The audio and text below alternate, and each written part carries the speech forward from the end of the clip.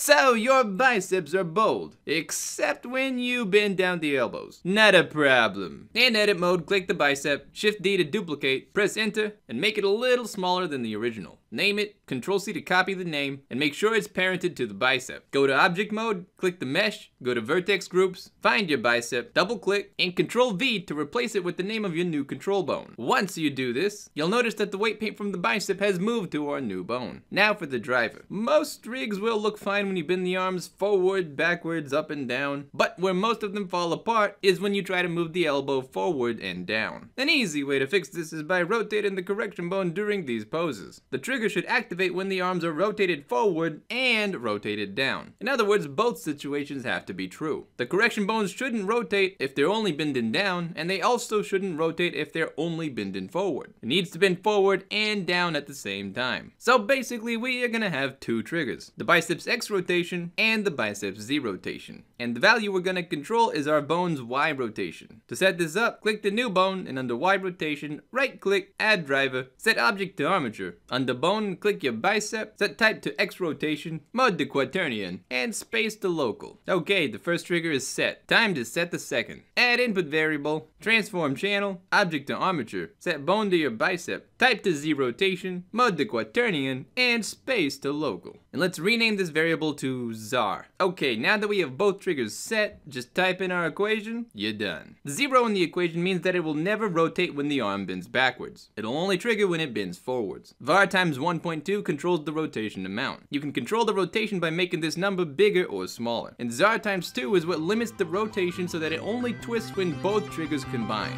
Alright, hope that helps. If you enjoyed this video, please don't forget to like, subscribe, and ring that bell. Hope you have a fantastic day, and I'll see you you round.